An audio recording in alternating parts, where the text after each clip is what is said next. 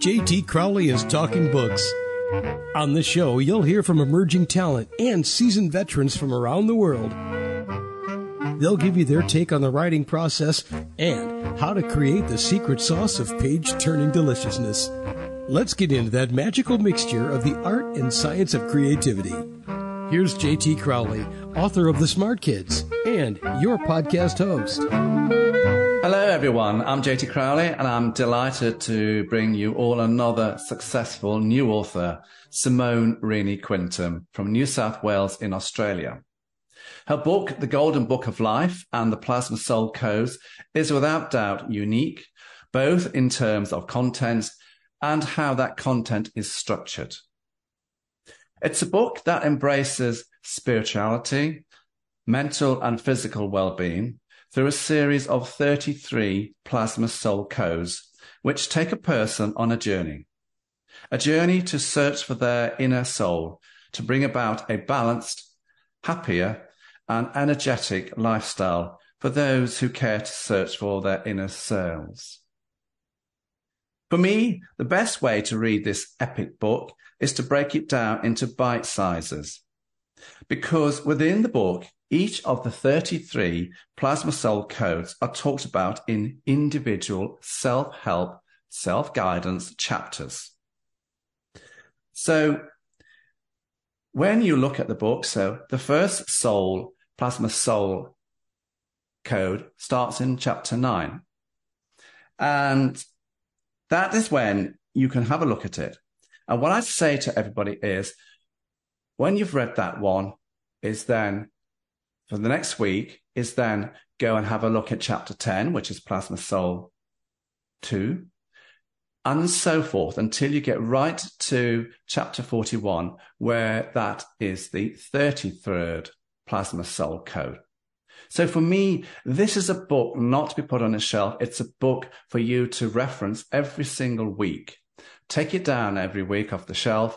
Look at the plasma code for that week. See what Simone is talking about and go and explore all the theories as to how she's come to put this self-help guidance lesson for that week together. So I'm going to stop chattering on here, everybody, because we really need to bring Simone on to chat about her book and get to the very core of why she's written it. Simone Renee Quinton, come and join me on my show. Thank you for having me, John. It's great to be here. I'm very excited to share more about my book with the listeners. And as you can tell everybody, um, Simone has an Australian accent and she lives in a small little town called Broulee on a small beach town in New South Wales with her husband Rodney, two children, Keji and Reeve, and Bluey the Budgie. Now we can't not mention Bluey the Budgie, everybody, because he's one of the kids. he is. so Simone, let's you know, let's get to the core of your book and why you're here. You describe your book as a kind of self-help book for those looking to search for their inner spirit. You have a mission, you say, to help guide and motivate humankind home to real love. And this is all based around your 33 plasma soul codes. Where do your theories evolve from? Your philosophical thoughts and views about life? But what I see and understand is that you're dealing with the inner soul of a person's very essence to bring about a more balanced approach to their spiritual, physical and mental well-being. Am I right? Am I on the right track here? You are spot on, John, and your introduction has been amazing. You've really grasped what I'm trying to do. So I'm very grateful for that. These, everything that came to me that is written in the book and it, it does, it comes from within. It's come from those times when I've been outside in nature and I've been with beautiful clients and even with my children. And those moments where you step back and you are very silent inside yourself and you feel it in your heart. And from there, all this information just poured out. It really poured out of me. And it's something that I've been in tune with since I was a little girl. I would always have extreme empathy and would see colors and shapes and patterns around people and just felt like people's souls were talking to me through my own soul. So that's where all the information has come from. Somewhere deep inside my own heart and soul where the human mind boggles. But, it, but I believe that humanity are evolving and I know that I've evolved um, throughout my lifetime and more of this information just, it seems to just be there inside me, inside my heart and soul. That's the best way I can describe it. Fair Becomes enough. emotional. yeah. I mean, because this book has taken you five years to write, hasn't it? Yes, it has. And I started taking notes many years before that when I was about 21. Uh, and then I accumulated uh, I had about 2,000 pages of notes when I sat down to properly write the book mm. and structure it. Yeah. There you go. A very long time. I did have to, you know, I had children and had to work in between. oh, these little things get in the way, don't they? As yes. moment, let's let's open up this epic book of yours um, to get at the core of what you have to say. So let's head to chapters two uh, to eight. So that's chapters two to eight, everybody. Now, chapter two, you head up. What are the plasma soul codes? Hmm, I thought, what are they? You say they are energetic make up of spirit, real as the sky, the web of eternal spirit, intrinsic and precise as fluid. Their conduit, open humans to the wow factor of life, integral to life, plus many, many more glowing attributes. What are these codes, Simone? oh my goodness, that's the whole book answers that. the codes are in essence the emotional intelligence that we have within ourselves, within our souls. It's the connections that we have to all that is life, the entire universe, to other humans. They help, it helps us to connect and talk to people and connect with nature and see colors and lights. So it is the very essence of who we are. The soul codes are that, the essence of who, who we are. And that's where they've come from. And it's something that is very tricky to put down in a book, but I did my best to make it as grounded as I could, to to explore these emotions, these extreme emotions and this spiritual intelligence that I have felt within me my whole life and that I have felt through through other experiences with other people. So that is what they are. They are, in essence, the pod of who, the pod of us that all that contains all that is life and our communication systems with life. So, do you believe that the soul is like the inner spirit within each person? Yes, yes. Hmm. It is the part of us that has no beginning and no end. It is the part of us that continually evolves and learns. And I believe that when we're here in a human body, we are somewhat restricted with that. And so I designed the soul codes to help people feel more freedom, more love and more life within them, especially at times that are challenging, which we have many challenging times most days as human beings. Oh, we do. I mean, the spirit of a person is the difference between a person being alive and being dead, isn't it? That's right. Yeah. That's right. I'm glad we agree on that one. There you go, everyone. Simone, let's head to chapter three which you head up Collective Soul Forward. You have four points as the key sector here. They are, we are all one. Listen carefully to your heart. The reason you are here may seem hidden. And just because you think you can't doesn't mean you can't. What's the message you're getting across here? The message I was trying to get across with this section probably all comes back to the point one that is we are all one. I was trying to get people out of their heads, out of their human heads that is, um, wants to sort everything out and compute everything. Because I believe that if we could get out of that headspace and not be so structured in our thoughts and you just contemplate and feel that everything is one, it would help them connect with their soul a little bit more. I, it's bringing them back to the basis that we are all one. We all, in essence, are connected energetically. Even science understands that concept now, which is wonderful. And eh? yeah, that's, it's, it was to bring everyone back to that, the basics, the basics that if you feel that we're all one and you listen to your heart, then everything's going to be okay. So when they get to a point in the book and they start getting in their head and, and worried about things, they can go back to that basics that it's okay. I'm connected. I'm part of everything. I, I believe that human beings stress out a lot and a lot of our issues happen because we feel that we're separate when we can feel alone, we, a lot of our personality traits arise because of that. So if we can feel that we are connected, we're part of this universe. It's okay. We're here. And if I can bring them back to their hearts, they will be okay. That's a fascinating theory. Hmm. See, we're talking to a very intelligent woman here, everybody.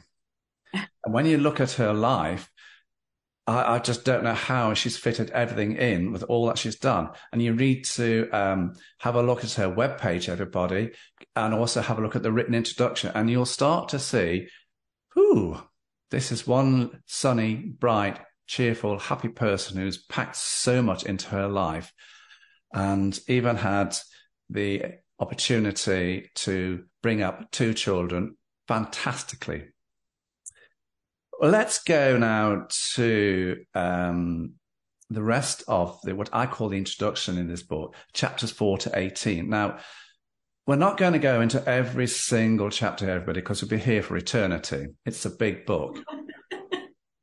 but let's go to this area of chapters four to 18. You talk about a matrix of kingdoms of life and nine categorized within the matrix. You talk about self navigation systems how to use the codes, artistic symbols, collective souls, measures, movements, feelings, messages, animals. This is a lot for the reader to get their teeth into. No doubt you will argue with me that these topics in this early part of the book make up the bedrock to what's in the book. And that's you probably felt that you needed to do this at this pivotal point in the book just to get the basics across. Am I right with that argument point that you had to do this to get the basics across before you launch into the self help guidance section? Yes, I really did. And the reason I have so many different categories is because we all learn in different ways many people, I know a lot of my friends and family, they're real animal people. And I have other clients that relate to flowers or poetry, and that's how they get their information. They're more emotionally based. And then I've got people that like the breathing or the movement and there's there's just so many different ways we learn and grow and i believe that um, i know women especially um, depending on what mood we're in we're going to want a little different slice of information to learn for that day. Remembering that these soul codes are there as a, a self-help guide, something that we can look at, as you said, at the beginning of the week and work through. So I, I wanted to explain all these little points and what was in the book so that people understood that they didn't have to drink it all in in one go. They could just go to, okay, I just want to know what the purpose is of this soul code or what is the message here? What is, what is my soul trying to tell me here? Or if if they're like me, sometimes I like the reference, which I know that we might go into a little bit later. I like to just go, okay, this soul code is going to help me with anxiety or fear. Okay, I'm not, if I'm feeling a little bit anxious in that day. So all of those points were to prepare the reader that they knew that when they get to the actual self-help guide of the book, that they have all these little different gifts that they could go into whenever they needed to. But I wanted to tell people that they don't need to do it all in one go. They just can take little bites and chew and digest throughout the day. The book has not been written to be um, to be read all in one go, as far as I definitely has not. It it was written as it is a soul Bible. It was when my when my mum when I first gave it to my mum, she was laughing and laughing and laughing and she said, Oh my goodness, this, you have written a Bible. It is a spiritual Bible. And, and my mother, um, still, I was over there the other day and she always has it sitting on her coffee table and she's, she's really starting to get into it and understand that it's just those little bits and they're really helping her, which is, and I talk about my mum, your mum's always your, your biggest fan. Um, but my mum's, mother, al- mum's always mum. Yeah, but mum's mum, yeah. Mm. And and for me, having written the book and I know that it's sitting there and and my mum is getting those little bits and it's helping her, however small or big throughout her day, just makes my heart smile. Wow.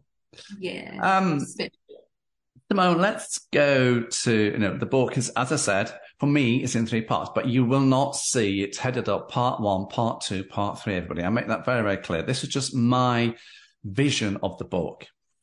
Um, so for me, this is going to the second part of the book. And this is the self guide section. And this is chapters nine to 41, everybody. And this is where the 33 plasma soul codes come to light. And this is where Simone has dedicated a chapter to each soul, plasma soul code. So now we can get, you know, let's go into some of the soul codes because there's 33, everybody. To read all 33 out, we'll still be here next year. and if you want to know what all the 33 plasma cell codes are about, then go and read the book. I can't be blunter than that. There's nothing like a marketing hint. Read the book. Yes, there you go. So yeah, read the book. absolutely, yes. Let's go to uh, let's take the listeners and the viewers, Simone, to chapter 17. This is all about Plasma Soul Code 9, free will. You say embrace your free will to manifest your heart's desire. What's this plasma soul code all about? What are you getting at here? Oh, free will that we all are in charge of our life. We have the freedom to choose. We have the freedom to choose what we're thinking, whether we're going to step on our left foot or our right foot, if we're going to go forwards or backwards. We get to choose if we're going to sit on that lounge and wallow for, for weeks on end about something that happened five years ago. We have a choice. We have free will and it's a very solid, very direct. Uh, and I give people in this, this, this thought or feeling. Every, every soul code has a thought or a feeling. Um, I know a lot of spiritual people, they know, they call that an affirmation, or you could call it a mantra that you want to repeat over and over throughout your day. And in free will, it says, I will my truth into action. I am free to be me. I don't think you get much simpler than that, that people then get out of these little programmed thoughts, negative mindsets, and they go, hang on, hang on a moment. I am free to be me. So the whole code is set around that, around encouraging people, motivating people, giving them tools, spiritual information, poetry, even reference points to help them understand that they are allowed to be who they are. And I think that is a very important thing we all need to give ourselves permission to be who we are because who we all truly are deep in our hearts, oh, we're amazing, unique. and oh, needed. Absolutely. Um, you know, I've got to know you over the last couple of weeks and I've picked up that you're not a negative person. You're a very sunny, positive person. But let's go to uh, move on a little bit further here, everybody. You know, Simone, throughout all of these chapters, talking about the plasma soul codes, you've used a standardized formula, but with different variations under the subheadings. Was that done purposefully? Uh, so that each self guidance lesson follows a set pattern with a change in topical discussion? Yes, it was done very purposefully. I wanted to have, even though I'm very spiritual and a very emotional, creative type of person, I'm also very structured. I um I have a I was very very good at mathematics at school. I have a very um, organized life, and I believe that we need to be organized. So I wanted the book to be organized and to have a set pattern to make it easy, easier because the, the subject is so massive. I mean, we're talking about life. We're talking about the soul. We're talking about our connection to mm. all that is life.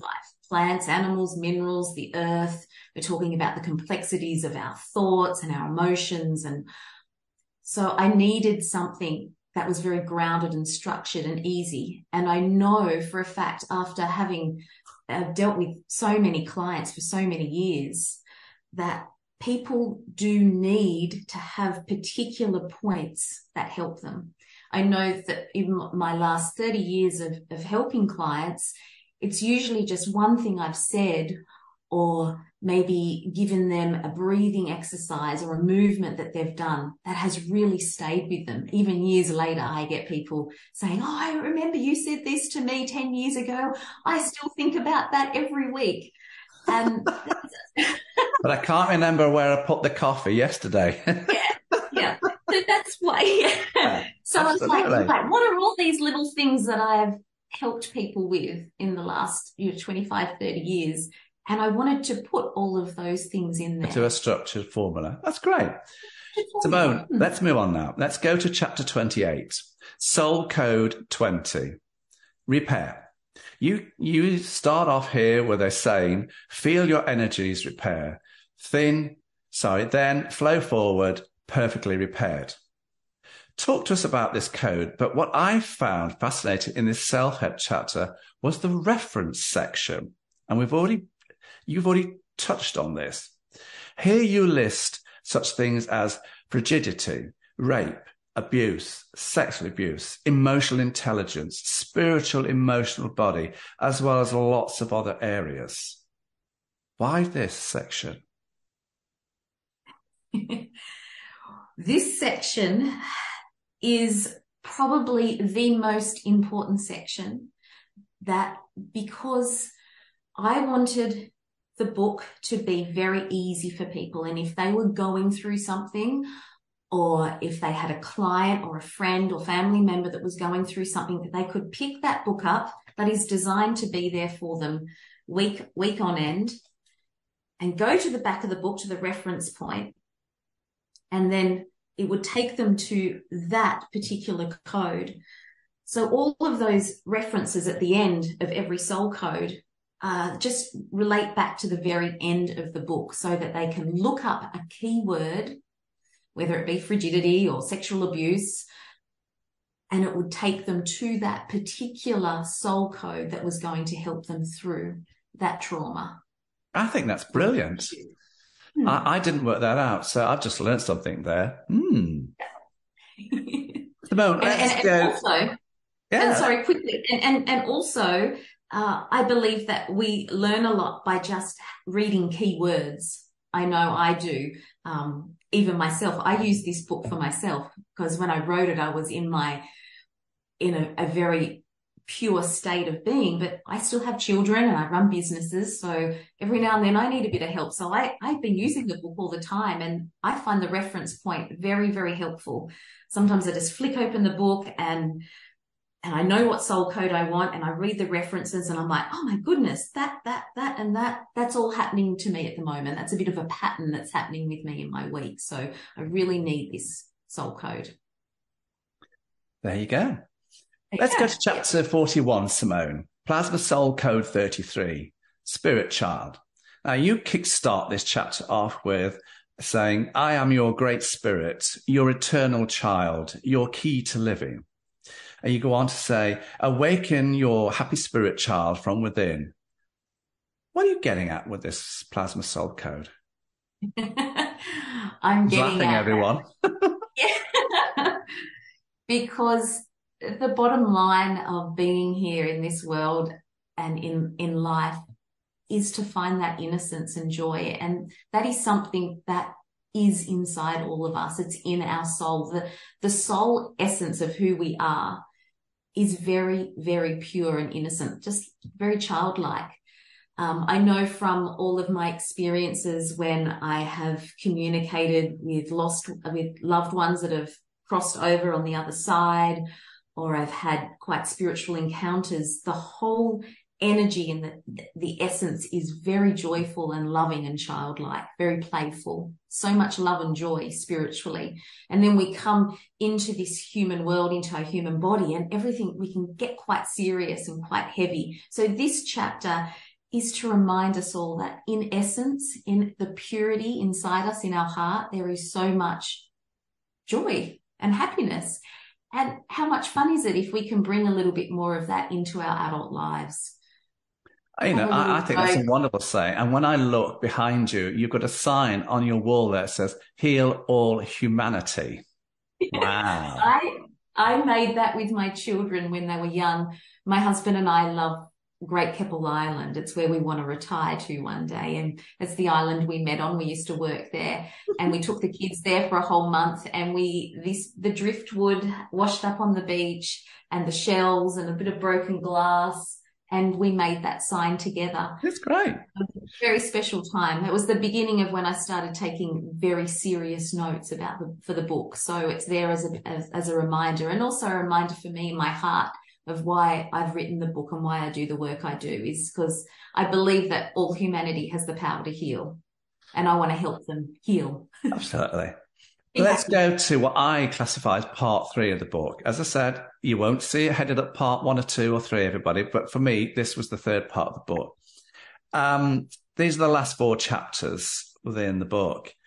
So, you know, you've got chapters 42, 43, you cover off, you cover off general codes. And then chapters 44 and 45, they're mainly around, you know, the reference points again. Why did you choose to finish your book in this fashion? Uh, well, I believe everything needs to have a little finishing cap on it, but the main reason was to cross reference the whole book. So people could go to these chapters in the back of the book and pick up a key word that would direct them back to that particular soul code that they needed. So that was the main reason I did it. Um, also just a little bit of a recap on on the whole book. I say, I like, you know, when I used to work, you know, we used to always summarize at the end and you have recap just to get the message across to people. Yeah. Yeah. And so Maybe the recap message here is people, if you want to understand what these plasma soul codes are, go and buy the book. um, what's next for you, Simone, both in terms of your own life and that of your writing? Are there any books in the pipeline? There are a number Ooh. of books in the pipeline. Uh, I did want to do some more on the soul codes. So because there, there's so many, I wanted to make it a little bit easier for people and, and do a bit of a spin off on that. But the book that's been coming to me a lot lately that I've been starting to, to have a little dabble with is a book that, um, is it's probably more the target audience would more be the uh, the the real male male and or people that are very laid back um, and oh, I, I, call them the Aussie males or the tradies over here. They're the they're the blokes like my husband. He um loves the hardened his, Aussies, we say. Just, yeah, the hardened Aussies, just here. And and I wanted to call it uh, something like beers, farts, and spirituality. Hmm. That's a little bit well, different. watch out for that one, everyone. it was a bit of a fun one to do for, for the not? Aussie Male. Good luck on that one. Who do you see, Simone, as your market for your book, your books? But more importantly, who would you like to see reading your book? Young people, mature folk, or people of all ages? I would really love people of all ages to have a go at this book, including um, me. Obviously, yes. people of all ages. Uh, primarily, I believe that the book is really targeted for people that are wanting to search a little bit deeper into themselves. And for teachers, uh, parents that have children that are very, very sensitive, uh, even people that are in other healers and practitioners, because of the other points in the book, I've got a, a section in there called one on one in every soul code that helps practitioners to, to help other people. Um, but really the soul searchers, people that are looking for more, that are, okay. that are ready. Yeah. Where can people get your book from? They can get the book on, well, if they just Google my name, Simone Renee Quinton, or they Google the Golden Book of Life and the Plasma Soul Codes, it'll come up in many places, but they can get it on Amazon or through Balboa Press, which is my publishers. And um, yeah, it's on, it's also on other places, Booktopia, and on my personal website, if they live within Australia, they can get a signed copy, which is soulnavigationsystem.net. Okay. Everyone, if you look at my written introduction, you'll see well, all the links where you can go and get her book from, everybody. Simone, Renee, Quinton, thank you very much for coming on my show today. Thank you for having me, John. It was a pleasure. You're very welcome. Simone Quinton, everybody. I hope you found that fascinating. I certainly did. But as I end all my podcasts, I'm JT Crowley. Thanks for listening, watching, wherever you are in the world. So until next time, stay safe.